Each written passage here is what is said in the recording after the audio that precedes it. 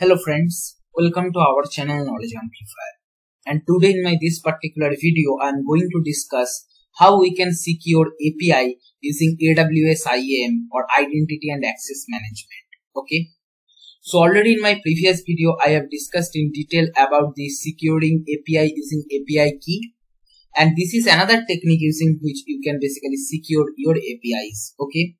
So the architecture what I am going to demonstrate or build from scratch is kind of like this. Here we'll be making our request using Postman and that request will hit our AWS API gateway and then first it will make authorization based on IAM and if that is authorized then only it will invoke the Lambda otherwise not. Lambda is basically our backend server which is used for processing the request okay. Once the request is processed it will send the response to AWS API gateway and API gateway will send back the response to Postman. Okay, right? So without any further delay, let's build our pipeline. So I'll go to Lambda, right? And here I will go to create function. Here I will give demo testing API IAM like this some name I am giving. Environment I am choosing Python 3.7 depending on your requirement you can choose any other environment or other programming language too. Once that is done, you can simply go to create function. Okay. It will create a lambda function with Python 3.7 execution environment for us, right? So let us wait for some time till it complete. Yeah, the environment is built. Now all we need to do, suppose I want to change the code little bit. Maybe I want to create a message. Okay, message equal to, right here I can write I love my and then here I can give format and then the event whatever it is uh, coming from API gateway there we want to pass one particular key value pair where key is query okay? Suppose in that query we'll be passing or maybe I can give like this a country okay? So in country we'll be passing basically one value and it will return I love my country like that okay? Right simple code return message. I can simply write okay and we are good to deploy this right? It is deployed it's time to test. So first let us go to test section. And here I am giving country okay? So country when I am giving and in the value part let me give India and then let me test it out. Let's see. Okay we got some error. Syntax error lambda function unexpected indent okay indentation issue.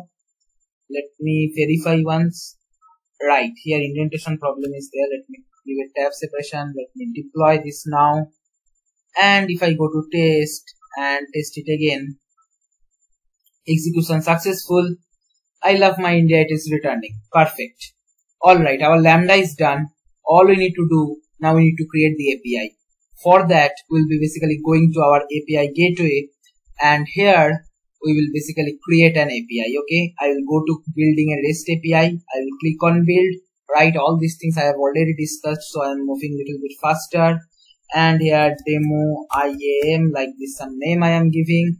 So this will be regional. Okay, then create API. Right, once that is created, here first I need to create resource, and in resource I can give hello world like this I am giving. Right, and then here I can go to create resource okay? Right under the resource i can create the method. So suppose post method i want to create and i can just click on this check mark. It is asking what you want to trigger. So i want to trigger lambda. What is the lambda function? The lambda function is basically this one. I'll be copying that and paste it here and i will click on save so basically as soon as uh, you click on save, you will be getting this kind of message that is your, you are about to give API gateway permission to invoke your Lambda. That is true. We will click on OK, right? And here our method will be created. We can test it out. Just click on test and here you can pass country just what we passed in our Lambda, the same thing. Okay, right? And then let's test it out. See, I love my India in the response but it is coming. Perfect. All we need to do, go to here and here deploy API. Deployment stage. So I am creating one new stage, maybe development environment. If you want, you can create for QA or production, whatever. And then click on deploy simply, right? Here we are getting invoke URL. Okay. I'll copy this invoke URL. I will go to postman. I will change this method to post method. I will paste it here.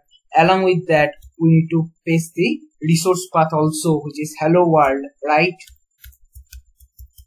And then here in the body part, we can basically give raw and then here JSON we can pass country India, right? Let us send this request and let's see what output we are getting here. See, I love my India. We are perfectly getting. But the problem is anyone who know this URL, they can basically make the request and process the data. So this is kind of hello world example which is having no problem, no security credentials, something we are storing in the backend which is basically processing and giving to front end, right? But maybe in some application, some confidential data we might return. Maybe for example, your bank details or your address. That time, these particular links should be secured and only specific users should have access to this, not whole world should have access, right? So now we will make it secure using IAM. All we need to do, go to AWS, open in a new tab, go to IAM, and then here we'll be basically creating one user, right? All we need to do, go to users, and here add users. I will basically add user, okay? Maybe I can give SM demo IAM, like this some name I am giving right? Now, what kind of access we want to give? So we want to give programmatic access, that is access key and secret key, right? So I will choose this one, not the management console access. Okay. I will go to next permission. Then here, what the user need? Just the user need that invoke permission, API invoke permission. So for that, we will go to here, attach an existing policy. Here, all we need to do search for API and here you will get this particular one. Amazon api gateway invoke full access. So i'm giving this next go to tags. I'm not specifying any tags. If you want you can. Now i can go to review and i can click on create user. Right here my user is created. Right here if i go to show here it is clearly showing secret access key and aws key. I will come to this. But we have not attached this particular user with our aws api gateway authentication right so for that, I will go to API gateway and here, if I go to APIs, here, this is my API which I created just now. And on post method, if I go, it is having this complete figure. I will go to method request and here, this particular authorization, instead of none, I will make AWS IAM. That is, from next time onwards, it will be verified using AWS IAM. Then only it will give access to that user. Okay. I will check this particular one and whenever you are making some changes you need to deploy that right? So I will deploy in my development environment stage right? It is deployed same URL all we can do maybe I will hit this particular thing again and now it is working. Maybe one more time I need to hit. Okay right it is working. So whether it is deployed or not. Wj wj okay fine it is deployed let me confirm.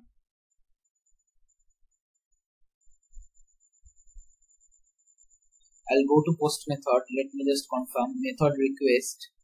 Authorization is AWS IAM yes it is there. Right? So here it might take some time few minutes to update the particular role.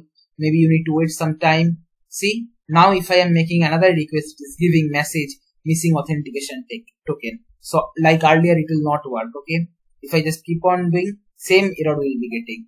So this time if one user want to access that he should be having this particular access key and secret key okay?